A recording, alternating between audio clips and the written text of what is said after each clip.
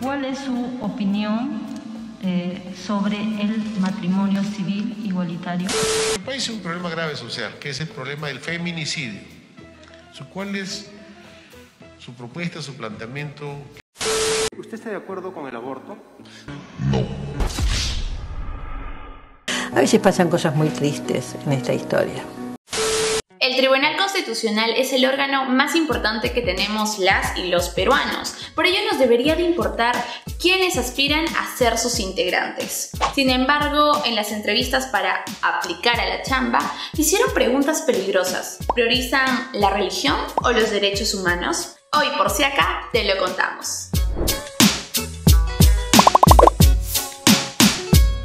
Los 17 postulantes, hubieron abogados con posturas contrarias al derecho de las niñas, adolescentes y mujeres. Específicamente sobre la violencia de género, el acceso al aborto terapéutico, el acceso gratuito a la pastilla del día siguiente para prevenir embarazos no deseados. Por ejemplo, la abogada Esperanza Díaz Silva desconoció el delito de feminicidio argumentando así. Es discutible, ¿no? Porque un día me dijeron que el feminicidio era una forma de discriminación al hombre, porque también hay hombres maltratados. Sobre el aborto, esto fue lo que dijo el postulante Carlos Acanson Nieto. No concibo un constitucionalista que esté a favor del aborto. Por si acá, el aborto terapéutico es legal en Perú desde 1924. A pesar de su respuesta, Acanson se encuentra en el puesto número 3 del cuadro de mérito que publicó el Congreso en su página oficial. Sobre el matrimonio igualitario, el postulante Oscar Díaz respondió así. En consecuencia, yo creo que el reconocimiento del matrimonio igualitario en estas circunstancias, en esta época en el Perú, todavía no corresponde. Pero no todo fue malo.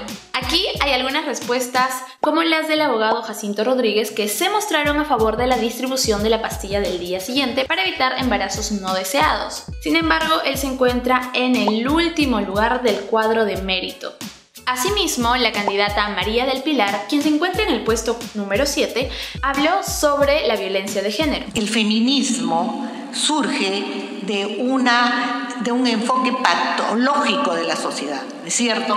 De quienes creen que pueden ser dueños de la vida de su pareja o de la mujer porque no han recibido tal vez la atención psicológica, psiquiátrica, o la mejor educación. Pero también hay postulaciones que preocupan, como es la de Vicente Walde Jauregui. Ojo con este candidato quien se encuentra en el puesto número 9. Fue ex abogado del arzobispado de Lima que estuvo a cargo de presidir la sala que decidiría el futuro del enfoque de género en el currículo escolar.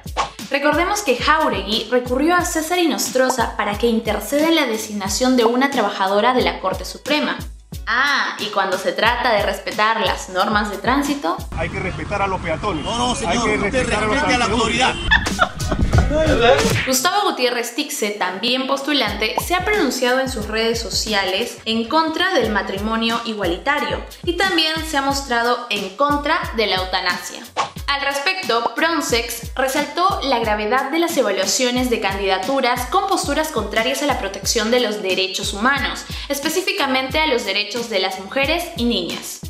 También se pronunció la Asociación Civil Transparencia y manifestó que no se ha estado cumpliendo con los estándares que indica la ley orgánica del Tribunal Constitucional, a pesar de que hace nueve meses se dio a conocer al Congreso una propuesta de evaluación que sí cumplía con los estándares mínimos para poder seleccionar a quienes integrarían el Tribunal Constitucional.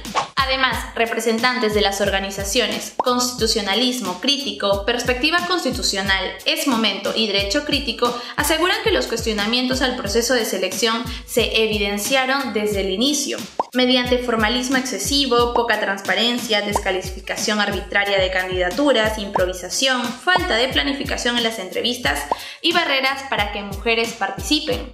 Solo dos de los 17 postulantes fueron mujeres. Por si acá, también explicaron que los congresistas tendrían la intención de seleccionar tribunos que favorezcan a Keiko Fujimori con su denuncia sin pruebas de un proceso electoral fraudulento. Si esta información te resultó útil, recuerda compartirla, coméntanos qué opinas y suscríbete a Por si acá a través de YouTube de Waika. Subimos videos cada semana.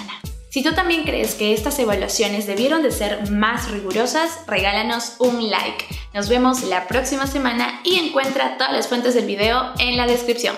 ¡Chao, chao!